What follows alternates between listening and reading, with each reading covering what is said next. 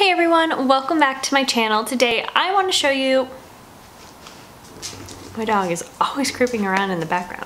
What's up guys? Welcome back to my channel. Today I want to show you how to style a plaid skirt for fall. So five different ways of how you can wear the same skirt five different ways. So I'm a believer of not constantly buying new clothes just to fit a trend. Um, for example, this skirt that I bought I purchased last year, but plaid is obviously still in for this fall. And um, in all of these outfits, I'm gonna be wearing generally the same things, just new tops. So like a couple of the same pairs of shoes, um, the same tights, the same skirt. So you don't have to go out and buy new clothes every week, every week and every month. I was saying, you don't have to go out and buy new clothes every month. It's just not practical. It doesn't make any sense. Um, you can definitely rewear and restyle the same thing that you have in your wardrobe. Super simple, so that's why I love doing these styling videos, just to give you guys some ideas of how you can style your clothes that you have at home already. Um, so without more rambling, let's just get into the video.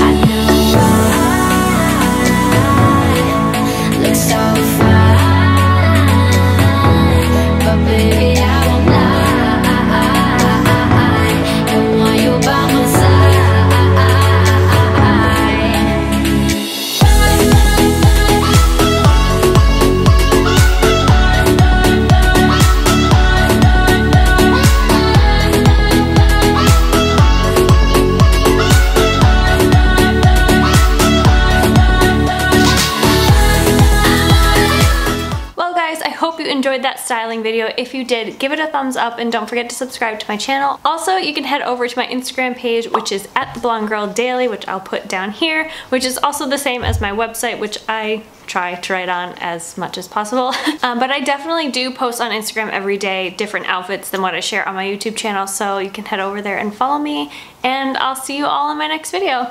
Bye!